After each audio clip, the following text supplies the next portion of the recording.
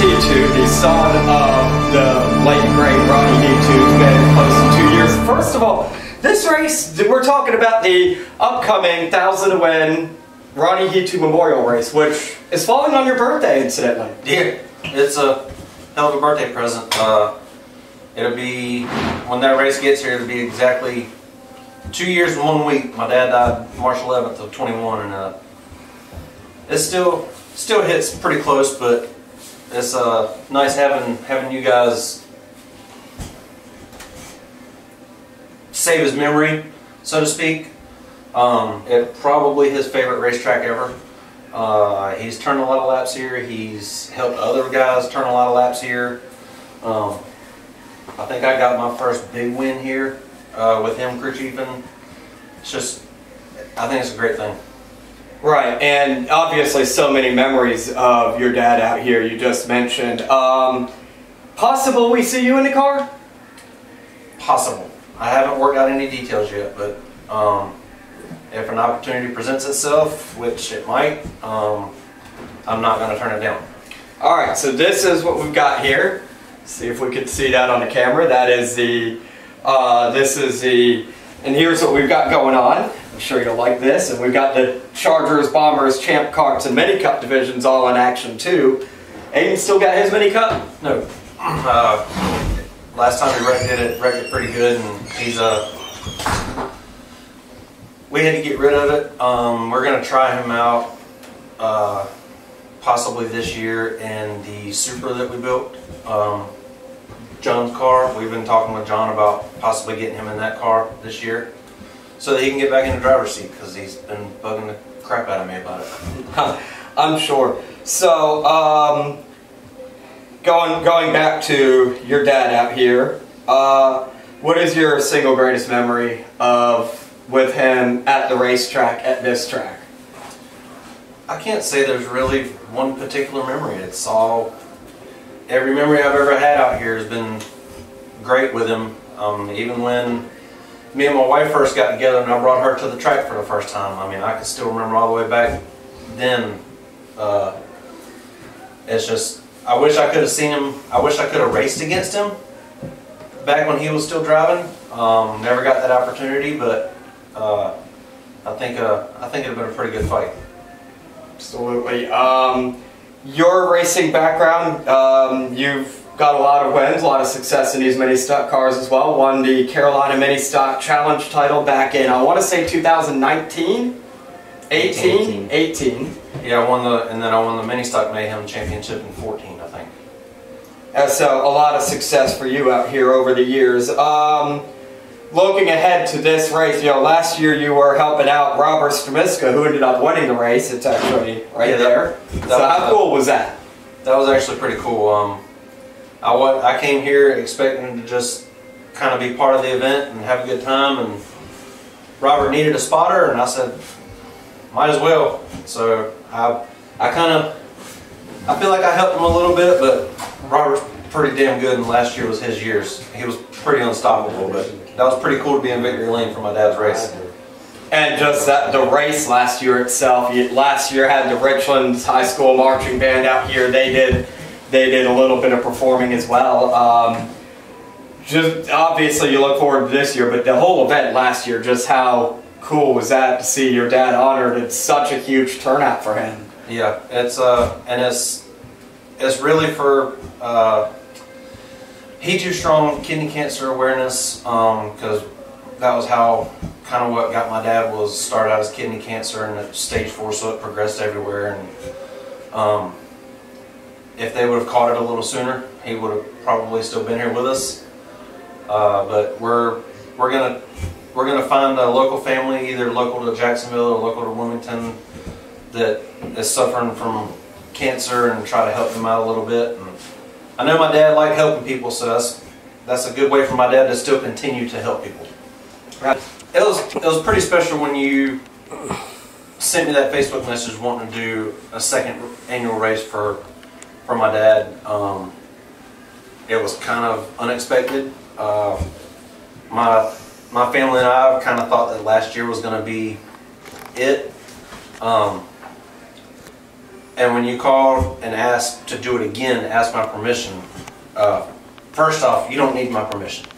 Um, anything to anything to respect my dad's memory or or whatever, you're more than welcome to do any kind any type of event with it without me. Um, but I just want to say that I really appreciate you calling us first. Um, it means a lot to us, especially in that area of March because it happens to fall where Kidney Cancer Awareness Month is, is March, and my dad also died in March. Right. Um, so it's kind of a big thing, and I just want to say I appreciate it. So a lot of people have asked me what I know about your dad. And I, I don't remember ever having the honor of meeting your dad. And somebody said, well, why are you doing it? And I said, because I love Aiden and Kris. And he was a big, important part of their life, and we just want to make sure that we do it right, that we remember your dad the way he would want to be remembered, that you want us to remember him, and anything we can do to help with that, that's what we want to do. Well, we greatly appreciate it, and uh, like I said, this is this was his all-time favorite favorite track, and mini stocks, which is the headline race for for this event, is I mean everybody knows that was he lived and breathed mini stocks. Right, right. um, What do you think he would think about the track now? he, I think y'all, no, y'all hadn't took over yet. Um, he would actually really appreciate what you guys have done with the place. Um, from just cleaning it up and making it look fresh and new to the respect that you guys have for all the racers. Um, there's there's some really good tracks around the air, the region, and to me, y'all have one of the most unique tracks, if not the most unique track. Um, takes a lot to learn it, a lot to figure it out, and you guys are, are showing that you're here for the racers. You're not you're not here to put a dollar in your pocket. Um, so he'd be here every week. He'd twist my arm to make sure I was here every week if he was still here. Oh, we appreciate that very much. Who got you into racing? Was it your dad or your grandpa was- or both? They had bought me a uh, little, what do they call it, It yard, was a yard cart. yard cart, and I never drove it. I was always too scared to drive it. Well, there was one night whenever he got his mid, no, whenever Joseph Bryan, Joseph Yeah. Bryan got his first mini cup. and I was like, screw it. So I got a yard cart and I went to the church parking lot down the road, and I burned all four tires off in what? He went through two sets of tires in that one day and kind of showed that he really, really wanted to drive. So, my dad, being my dad, he didn't want to have the second best of anything. He went out and he found the best mini cup that, that was available, which happened to be Larry Hall's. And everybody knows Larry Hall's history in mini cups. He's not going to have anything slow. So, he bought that car from Larry, and we went the. Did you win it your rookie year? You started at the end of 15, I believe. And then the next year, And then I won the 2016, he became the youngest champion at Dillon Motor Speedway, winning the Mini Cup Championship. Nice. Um, which is also kind of special because he he's now the third generation Hetu to to win a racing championship. Nice. Um, my dad's won it in the Legends car. Uh, I think he won. He was championship crew chief multiple times with uh, Chris Kenny. Um, a lot of wins here, but to see Aiden win a championship was kind of special to him because it was it's just different. Yeah. Everything's different when it comes down to your kids. Yeah. Well, um, yeah, I've known the Hetus for quite a while. I mean, I remember first time I ever met him was at the racetrack. Uh, that was actually right whenever I got my first mini cup. So, uh, Aiden and Kris let me climb in Aiden's car make sure I liked how it felt. And um, it, it was just from there on forth, me and Aiden became really good friends, best friends actually. And um, yeah, I remember. I remember one day going over to Aiden's shop, and um, Aiden's shop, not Kris's shop, but Aiden's shop. Ronnie's shop. Yeah, Ronnie's shop. And uh, I remember his granddad going in there, and uh, I think he was fussing out Kris. He's fussing out everybody. I think he was fussing out Kris for something, and um, yeah, I, I didn't have the have the time with the Hetus. I didn't know him long enough to know Ronnie that good, but I knew him. your dad was real good friends. Yeah, and my dad was really good friends. He built a lot of cars for them. I guess, right? Yeah. Mm-hmm. Yeah, Oh, every car I've driven. He built Chris Kenny's car. He built both the cars he drove. Yeah. I mean, um, So can you say that Hetu's got you started in your racing career? oh yeah, oh yeah, for sure. Because I didn't even think I had my mini cup before I sat in Aiden's. Yeah, we came. So we came to the racetrack, and um, Aiden was there. I remember. He was parked beside Joseph Bryant. His granddad was there. That was whenever he had the green car. Mm-hmm. And uh, I got in the mini cup for the first time. And um, for there on the fourth, me and Aiden were pretty much hanging out every weekend. I was obviously better than you. Oh yeah, yeah. okay. All right.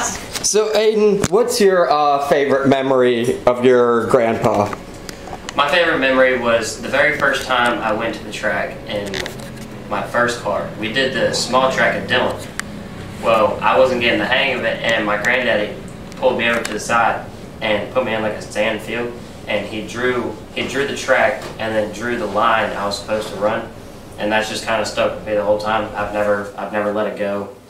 He's he's always been there to help me. All that's like he's been there if I ever had a question, he helped me rebuild my very first motor, and I miss him. All right, and Kris, we'll get a little emotional here. If you could, if you could say, if your if Ronnie was here, your dad was here right now, and you could say one thing to him, what would you say? I hope I did you proud. Um, it took a, a long time growing up. We we didn't see eye to eye. Um, a lot like me and Aiden are now. Uh, but if I ever needed anything, he was there. And as I grew into an adult, me and him became best friends. And he taught me a lot. There's a lot I know that he didn't get to teach me, but I feel him over my shoulder. Uh, the the car that's on track right now was the first car that I've rebuilt without him here, and I think he'd be proud of what I've done. All right, and Aiden, say if you could say one thing to your grandpa. Um, if I could say one thing to him, I'd say that I'm going to get that red 67 Impala that he always wanted, and uh, I'm gonna burn the tires down on that thing for him. Here at New River, right? Oh yeah. All right, thank you guys.